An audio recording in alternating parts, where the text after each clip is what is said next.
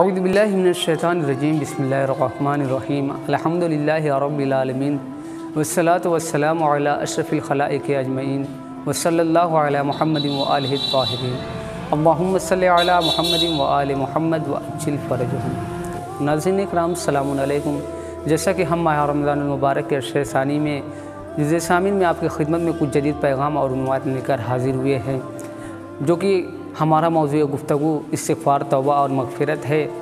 अजीज़ान ईमान एक शख्स रसूल खुदा की खिदमत में हाजिर हुआ और कहने लगा कि मैंने बहुत सारे ख़ता, बहुत सारे जराइम, बहुत सारे गुनाह को अंजाम दिए हैं। यकीनन अल्लाह मुझे माफ़ नहीं करेगा। रसूल खुदा फरमाते हैं कि ये बता, वो सामने जो पहाड़ है, क्या तेरा गुनाह उस पहाड़ से ज़्यादा अजीम है?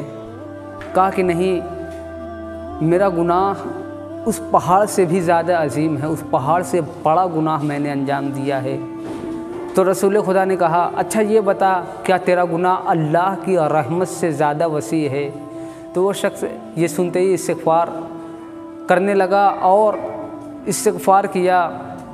और इस्तफ़ार करने के बाद रसूल खुदा ने सवाल किया कि, तूने कौन से गुनाह, कौन से जराइम को अंजाम दिया था?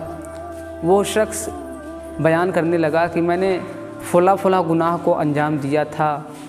तो रसूल खुदा ने कहा कि अल्लाह का शुक्र है कि तेरे ऊपर किसी मर्द मोमिन का कोई हक़ मौजूद नहीं है। मुझे इस बात का खौफ था कि तुमने किसी मर्द मोमिन का हक़ तल्फ़ किया है।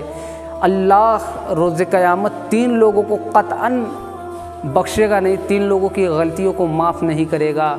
एक आकशुदे इंसान, दूसरा वो शख्स जो मजदूर की मजदूरी को हड़पता हो और उसमें से कुछ माल खुद रख लेता हो।